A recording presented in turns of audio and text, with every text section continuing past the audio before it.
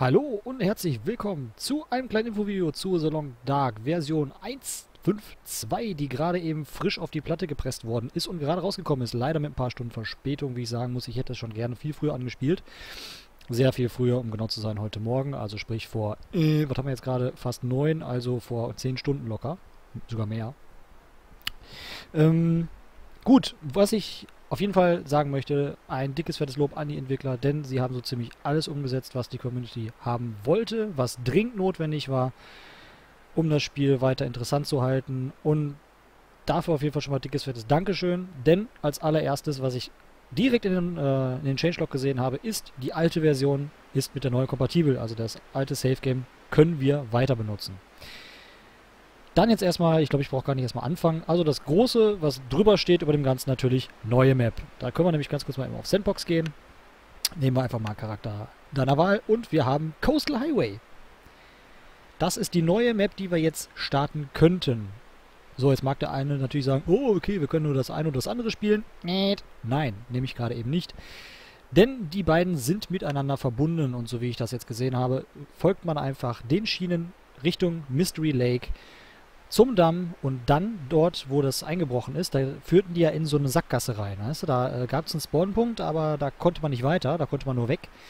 Genau da soll es jetzt zu dem neuen Gebiet führen und das soll die Fläche von der Karte ungefähr verdoppeln. Was ich ziemlich geil finde. Und zwar nicht nur flächenmäßig, sondern auch von den Orten, die man besuchen kann, die man plündern kann und so weiter und so fort. Gut, kommen wir aber zur nächsten Änderung.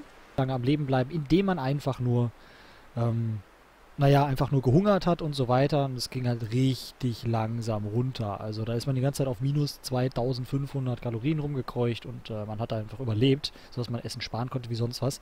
Ist jetzt nicht mehr, denn wenn man das ähm, eine gewisse Zeit zu lange macht, ja, du holst hier schön fröhlich rum, ich gleich auch, weil ich habe meinen Döner nämlich jetzt gerade, der wird kalt.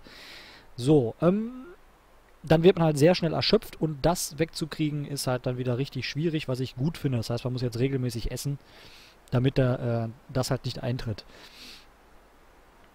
Dann, ähm, genau, ist überhaupt dieses generelle Minusdefizit von Kalorien weggenommen worden.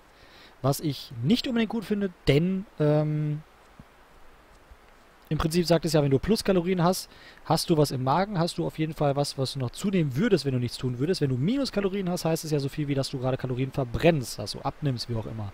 Beides spielt irgendwo schon so ein bisschen zusammen, finde ich. Aber ist egal, haben sie auf jeden Fall reingepackt. Dann, ganz wichtig, es sind Ratten, äh, Ratten, Rabbits dazugekommen, also Kaninchen oder Hasen.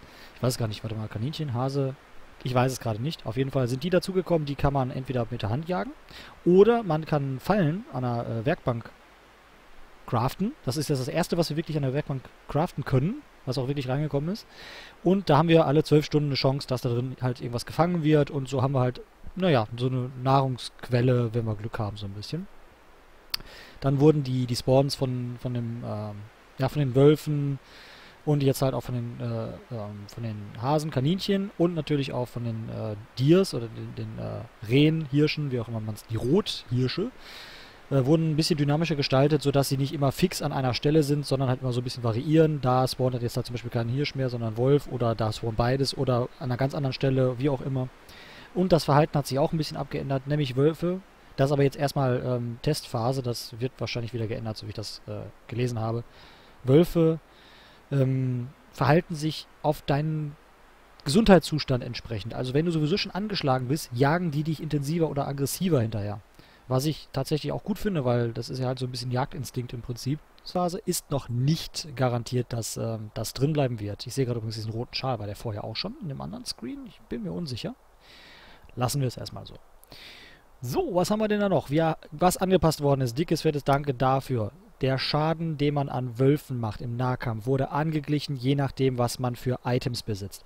Wenn man eine, äh, ein Hunting Knife besitzt, dann macht man mehr Schaden im Nahkampf. Du musst es also der rüstet das dann automatisch aus und benutzt, du musst es nur im Inventar haben.